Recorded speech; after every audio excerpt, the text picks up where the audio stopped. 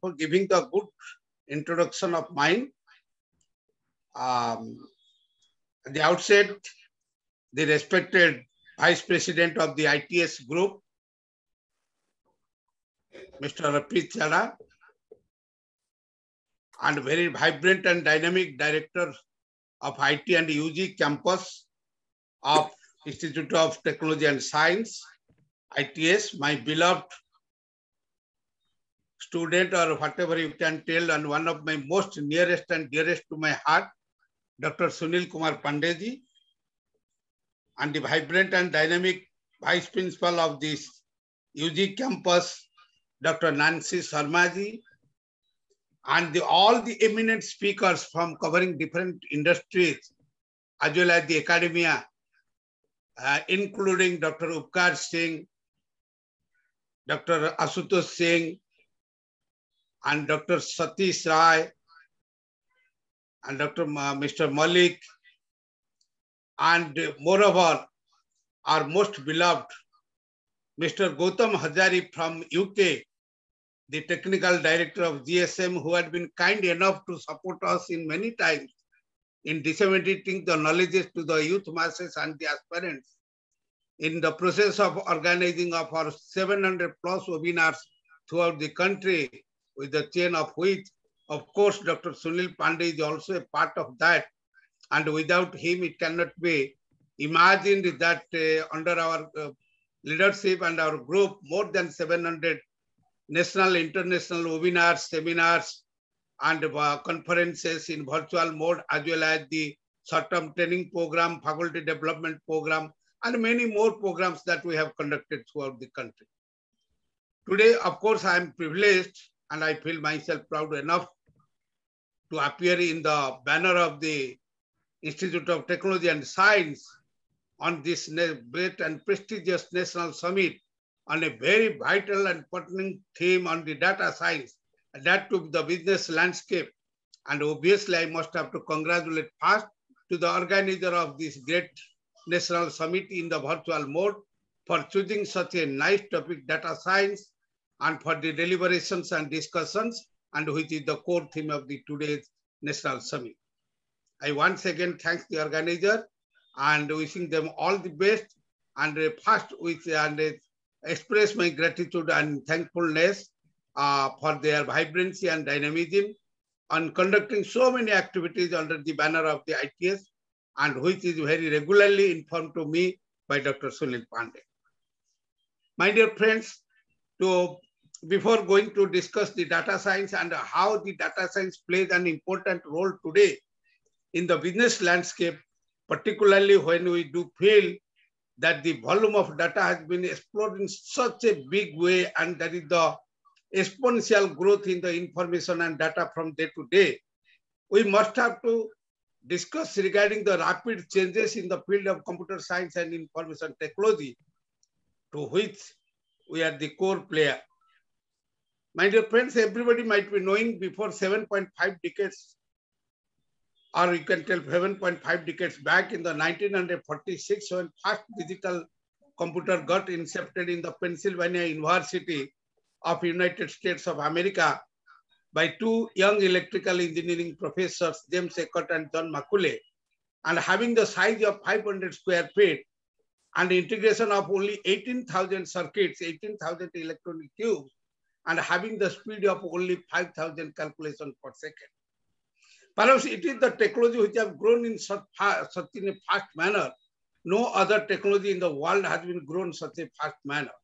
And so far as the changes happen to the technology, the changes are quite continuous and changes are quite frequent. Even if what Professor Naik will be telling now, after five minutes, that concept might be obsolete and that concept might be outdated. That is the pace of change in this particular technology, computer science and information technology.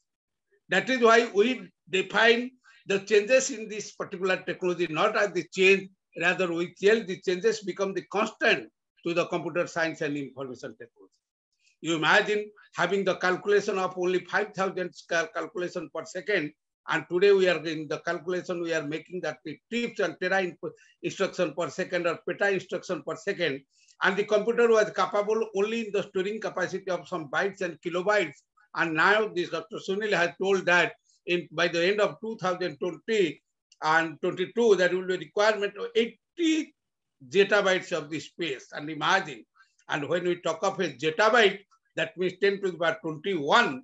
That means it is 1 billion of the trillion characters, 10 to the power 9 into 10 to the power 12.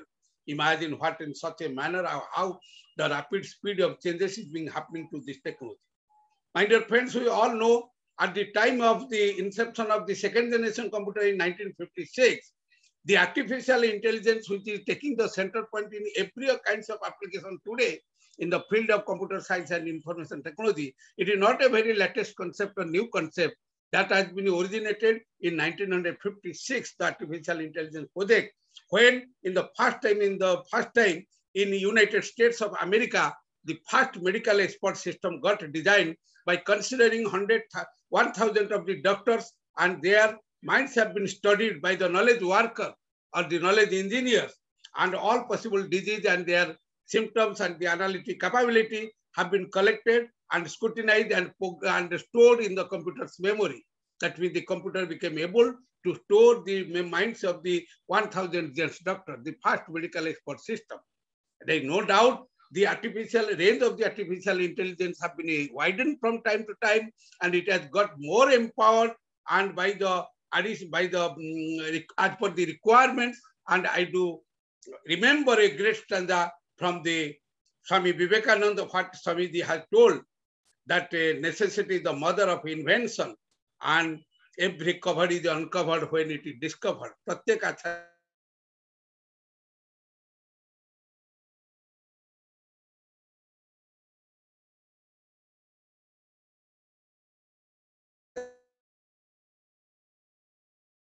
that is in the pandemic period.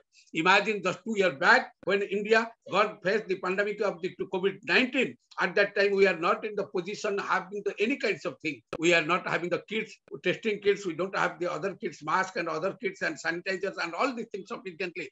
But it is the necessity of the time. That is why it has been the potential research has been conducted and by the encouragement of our Honorable Dynamic Prime Minister Narendra Modi so within two years, we became quite self-sufficient. So to address these challenges of this pandemic, not only in terms of the, having the kits and all these things, rather we are having the indigenous discovery of the vaccines and we became able and capable to export the things to more than 100 countries today.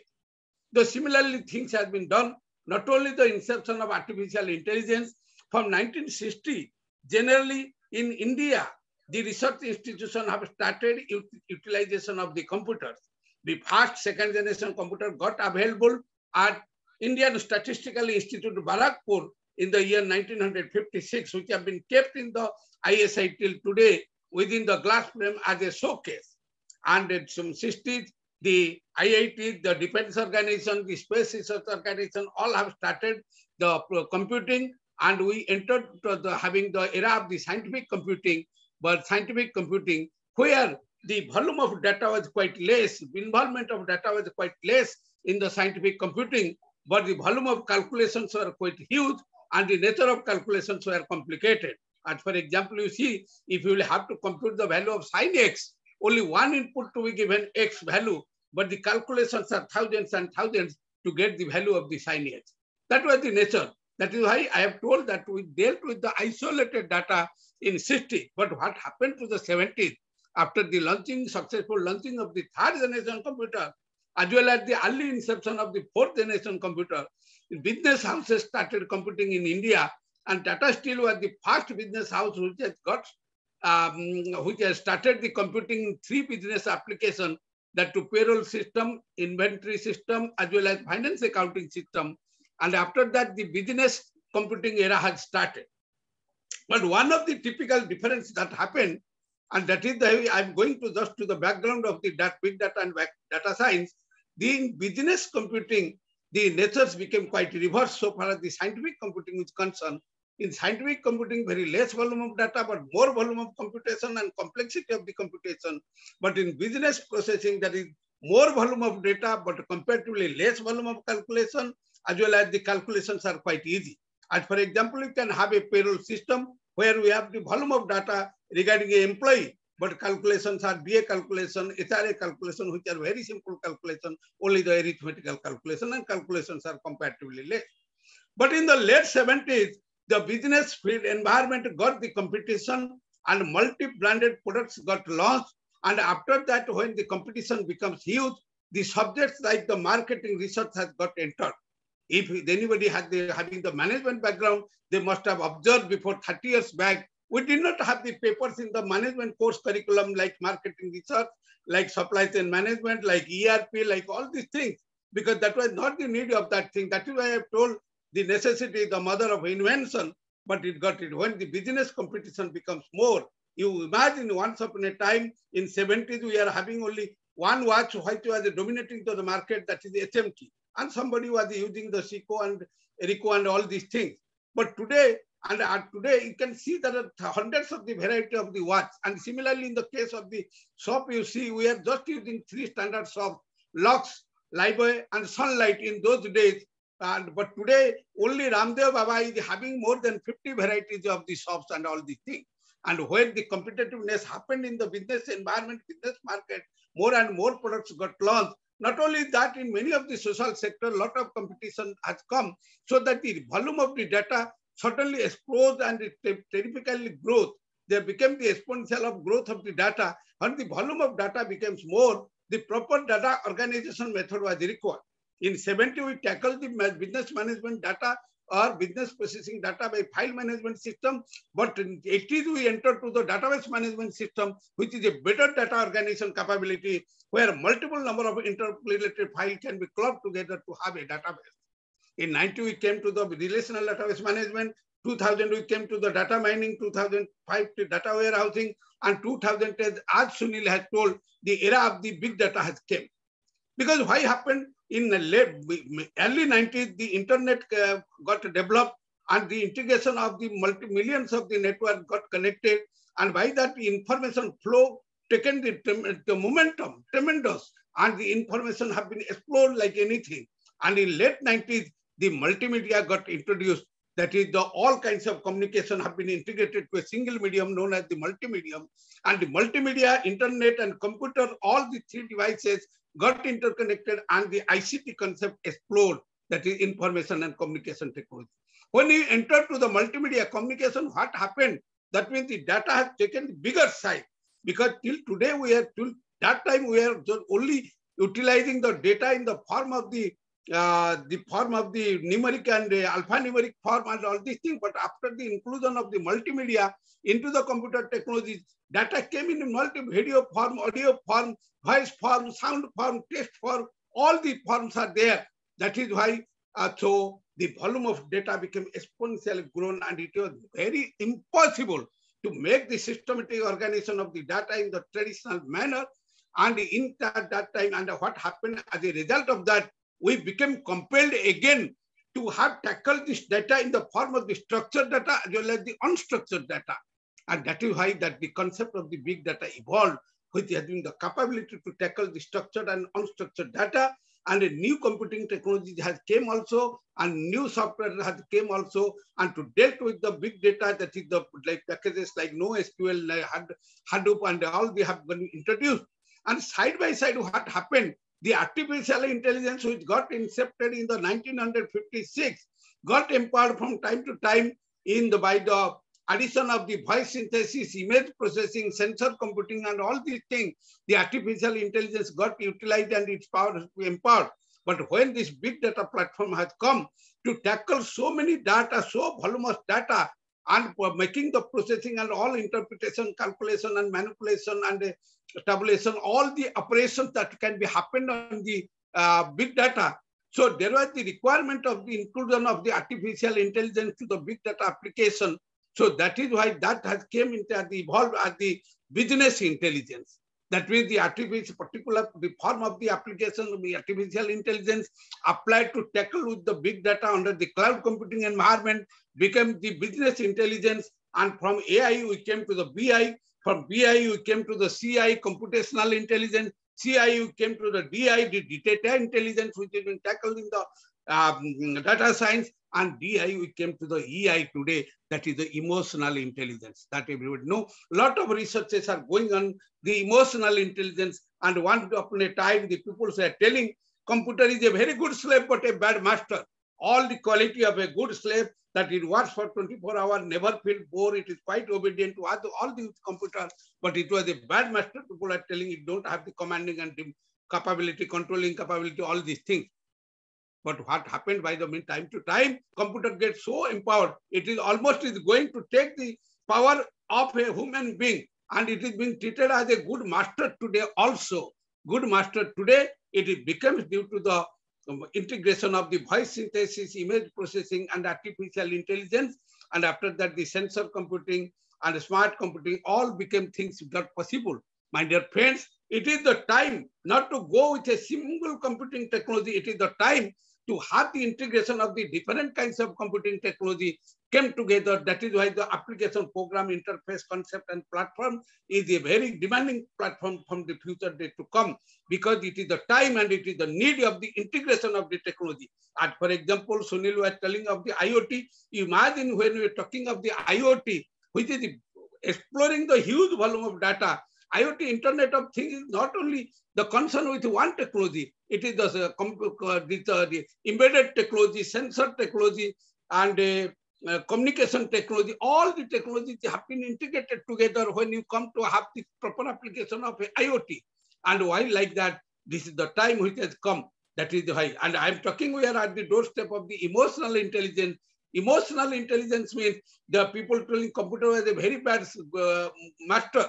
But the thing is that people told the computer got sensation, computer get imagination, computer get emotion, uh, voice, computer get the sound processing capability, computer get the image processing capability. Now it is the time computer is able to manipulate the emotion.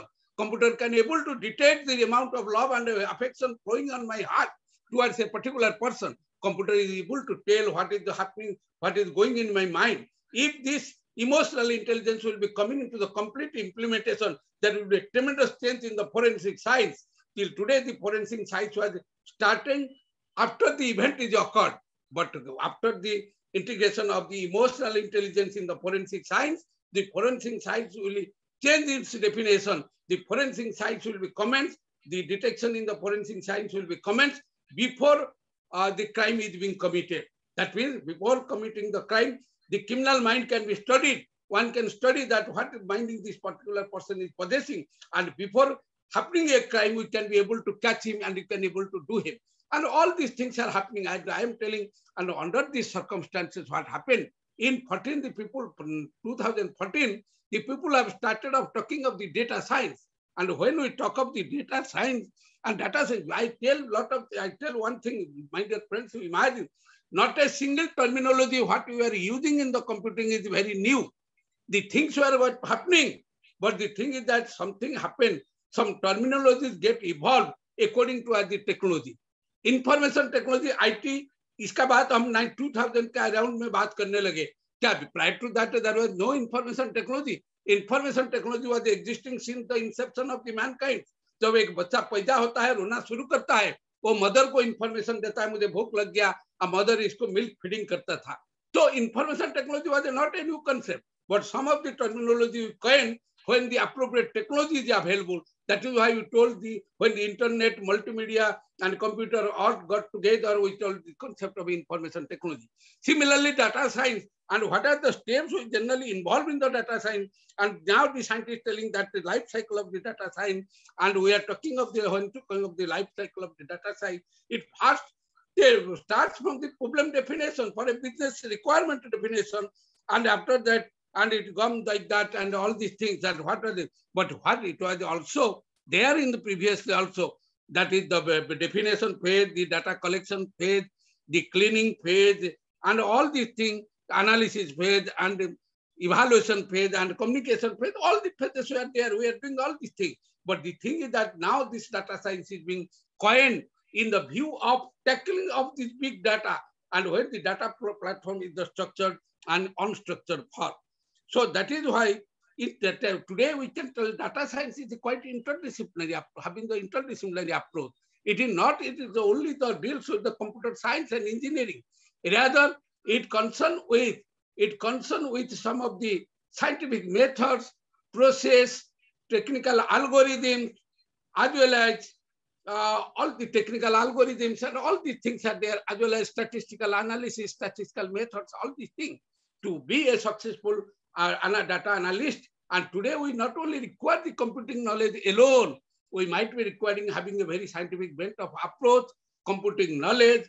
We have the ample idea of the mathematical, statistical application and proper process. All these things should happen if you want to be a very effective data science analyst or data analyst.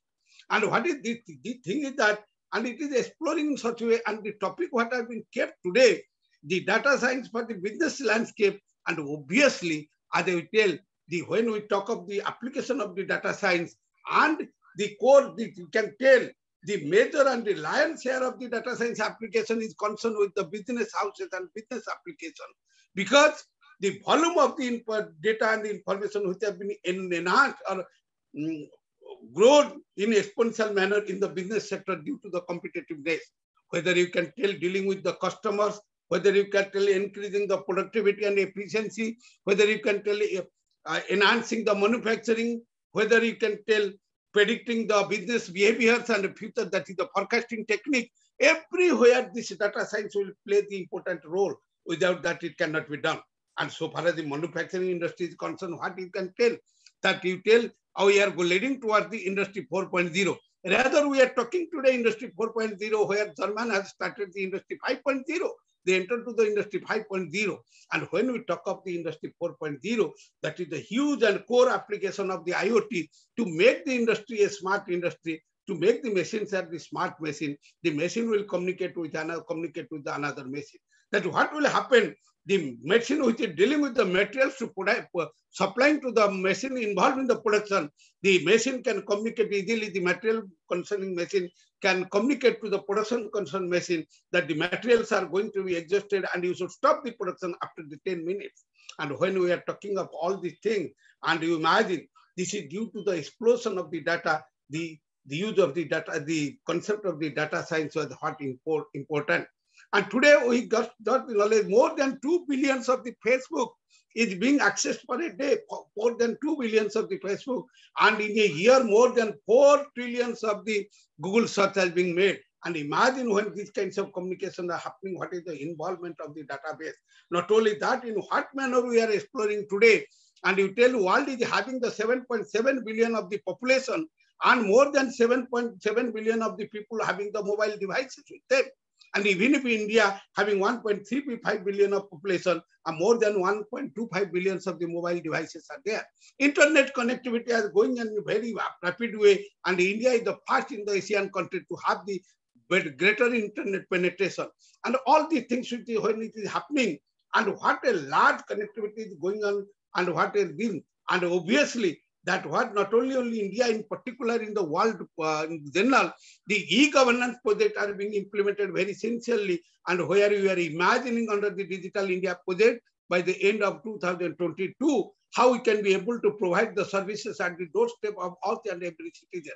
And obviously, as per as the large widened applications will be there, the volume of the structured and unstructured information gathering will be such a big way that is the proper utilization and manipulation through the data sciences are required. And more obviously the student community might be having the, be there. I can tell them properly the basic application of the data science is meant to make all kinds of operations that can be performed. This is the concern with all kinds of oper operations that can be performed on the data for, for the purpose of its utilization and the purpose of generating the information because it is the need and when these kinds of, I was telling, these voluminous data and voluminous are there, but manager need the information at the right time to take the right, uh, right decision.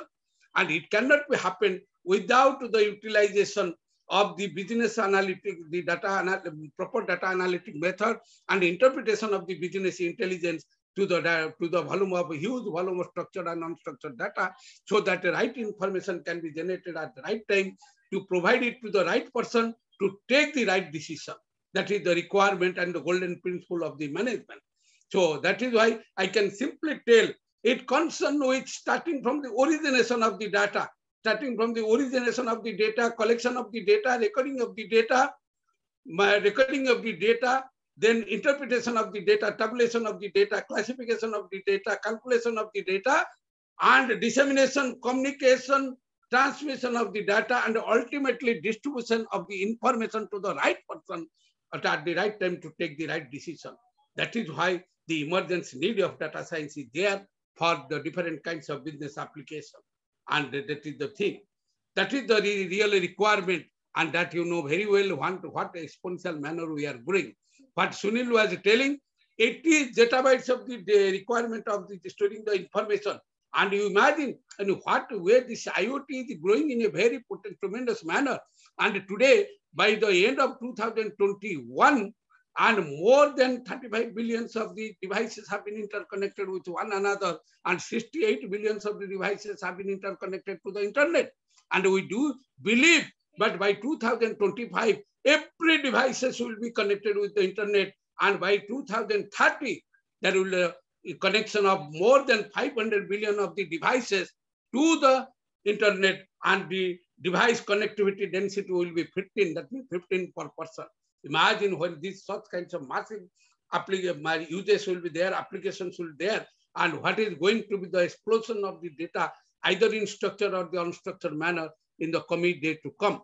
And by 2020, end of the 2020, we are requiring to tackle this IoT connectivity only 44 zettabytes of the uh, storage. And Sunil had told that in 2022, it will be 80 zettabytes. Imagine within two years, the storage requirement becomes double. And imagine what way it is getting explosion, two way. And imagine that what the 44 zettabytes of the uh, space is equivalent to. That is the total world human information system will be stored in 44 zettabytes of the data. And what big volume of the uh, information and data we are going to tackle in the future days, you can just easily imagine. Viewing all these points, and uh, I can uh, once again compliment to the organization